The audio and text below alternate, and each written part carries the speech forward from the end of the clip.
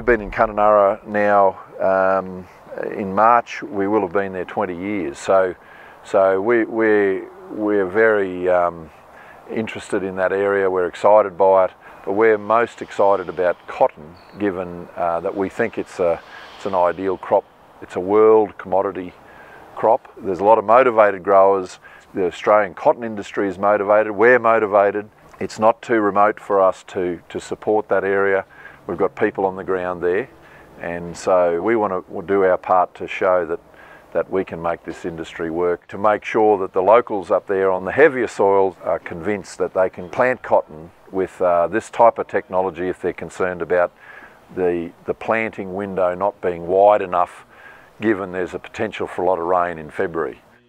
I just want to show you this machine here, John Deere 6155M, and we've fitted it with these Soucy tracks made in Canada. These tracks bolt on where the wheels bolt and they just give it an incredible footprint on the ground.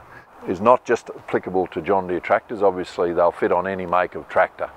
The, uh, the tracks on this machine actually raise it up a bit higher off the ground, but we've got a, a six row John Deere Maxemerge planter that's going to be in Kununurra as well for the cotton plant.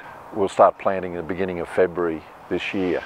And we've got a series of, of uh, demos with this machine to demonstrate that uh, there is technology about to allow mid-wet season planting of cotton.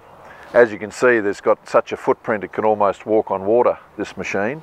We're expecting that it'll really handle the wet conditions extremely well over there.